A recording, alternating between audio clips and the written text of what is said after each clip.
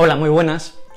En estos tiempos todos hemos hecho miles de videollamadas, hemos perdido la cuenta y una de las herramientas que hemos utilizado para ello es sin duda Google Meet.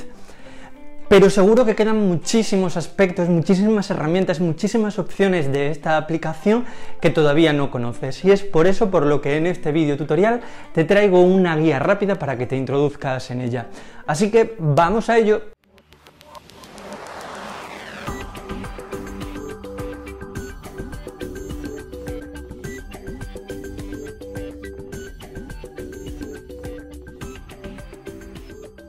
Existen varias formas para iniciar una videollamada con Google Meet. Por ejemplo, desde el botón de aplicaciones de Google clicando sobre el icono correspondiente. También se puede introducir en la barra de direcciones la dirección web meet.google.com. Tanto si utilizamos un sistema como otro, tendremos que pulsar a continuación sobre iniciar o unirse a una reunión. En caso de que seamos la persona que la inicie, tendremos que escribir el nombre de la misma. En caso de que nos unamos a una reunión, tendremos que proporcionar el código que se nos haya suministrado. Una vez hecho esto, habremos accedido a una especie de sala de espera. Para poder acceder a la reunión, solamente tenemos que pulsar sobre el botón Unirse ahora. Automáticamente aparece este cuadro de diálogo con la información necesaria para poder sumarse, para poder unirse a la videoreunión. Podemos copiar la dirección de enlace o clicando sobre el botón Añadir personas, añadirlas manualmente. Una tercera opción para iniciar una videoreunión o videollamada con Google Meet está vinculada con Google Classroom y esto permite el establecimiento de un enlace permanente para que el alumnado de una clase dada pueda entrar en esta videoreunión, en esta videollamada, cuando nosotros así lo establezcamos, de acuerdo con nuestro horario o con otras circunstancias. Para ello, en la pestaña tablón de Classroom tenemos que pulsar sobre la opción Generar enlace de Meet, confirmarlo pulsando sobre el botón correspondiente que nos aparece en este cuadro de diálogo y este botoncito de aquí nos permite hacerlo visible este enlace o no para el alumnado. De momento lo vamos a dejar visible, guardamos y ya está, aparece de forma continua, de forma permanente en la cabecera de la pestaña tablón. Si la videollamada se ha iniciado con una cuenta de usuario que pertenece a G Suite for Education, es decir, que pertenece a un centro educativo, en ese caso, si otra cuenta de la misma organización, de la misma, del mismo centro educativo, intenta iniciar sesión, no va a tener ningún tipo de problema, se va a conectar automáticamente, como está ocurriendo en este preciso instante. Pero por el contrario, si una persona que no pertenece a nuestra organización intenta acceder con una cuenta de usuario distinta, con una cuenta de usuario externa que, no pertenece a este entorno de G Suite, no va a poder a priori acceder a la reunión, sino que el sistema nos va a notificar su intento por medio de este cuadro de diálogo que me da la posibilidad de que le permita el acceso o no. En este caso, se lo vamos a admitir.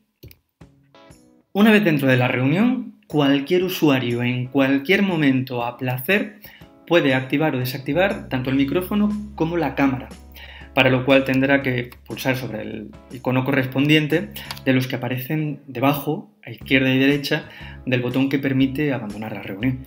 En la parte superior de la pantalla aparece la hora, un icono para acceder al chat y un icono para la gestión de las personas que asisten a la videoreunión. Al pulsar sobre el icono del chat, tenemos acceso directo a la conversación que los asistentes a la videollamada estarían manteniendo. En este caso podemos incluso llegar a inhabilitar la opción de que puedan escribir durante la videollamada. Si pulsamos sobre el otro icono podemos gestionar a las personas que asisten a nuestra videollamada.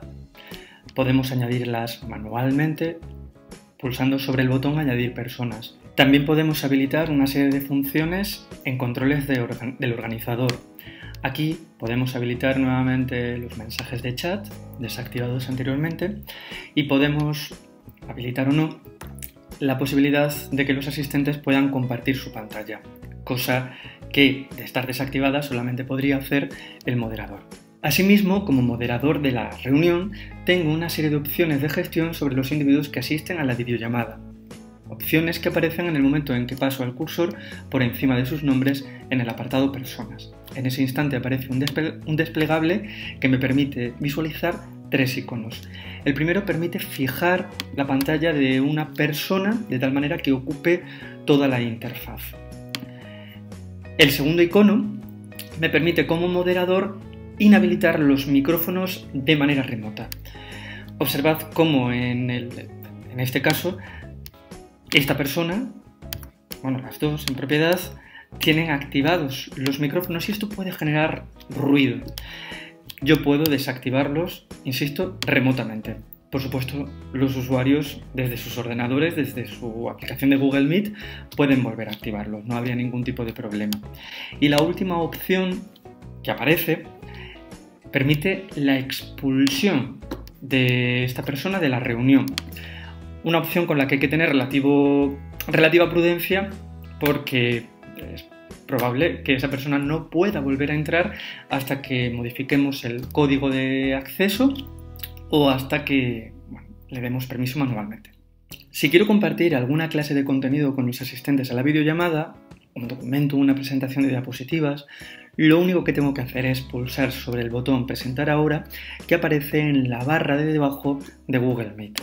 Si pulso sobre él aparecen tres opciones, toda tu pantalla, una ventana, solamente una ventana o una pestaña de Chrome, lo que me permitiría en ese caso escoger una de las cuatro que tengo en este momento abiertas en el navegador.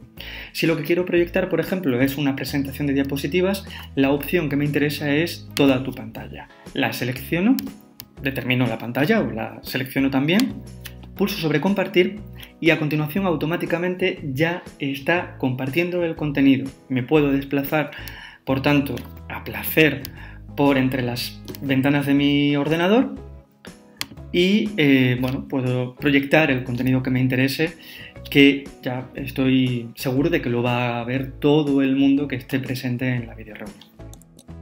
Para dejar de compartirlo tengo que volver al navegador y pulsar sobre la opción dejar de compartir. Para poder utilizar una serie de aplicaciones o opciones adicionales que ofrece esta herramienta, tenemos que pulsar sobre el botón con los tres puntos verticales, el botón de menú que aparece abajo a la derecha. Este botón despliega un menú con una serie de herramientas. Si nos interesa, podemos grabar la reunión para que quede constancia de la misma o para subirla posteriormente a algún tipo de repositorio, pero lógicamente nos va a pedir permiso para poder realizarlo. En caso de que dispongamos de un dispositivo de tipo Chromecast, podemos enviar esta reunión para proyectarla en el televisor. También podemos activar una pizarra de Google o Jamboard de tal manera que podamos escribir, garabatear una serie de notas que compartir con los asistentes a la reunión. También es posible cambiar el diseño con que aparecen las distintas pantallas de los asistentes a la videoreunión. Pueden aparecer en forma de mosaico, focalizándolo sobre una determinada persona en una barra lateral y también podemos concretar o configurar cuántas personas queremos que aparezcan simultáneamente a la vez en la pantalla. Por último, incluso si lo deseamos, podemos difuminar el fondo, de tal manera que aparezca pues, relativamente imperceptible. Y eso es todo por esta herramienta. Espero que te haya sido de utilidad. Nos vemos en otro video tutorial.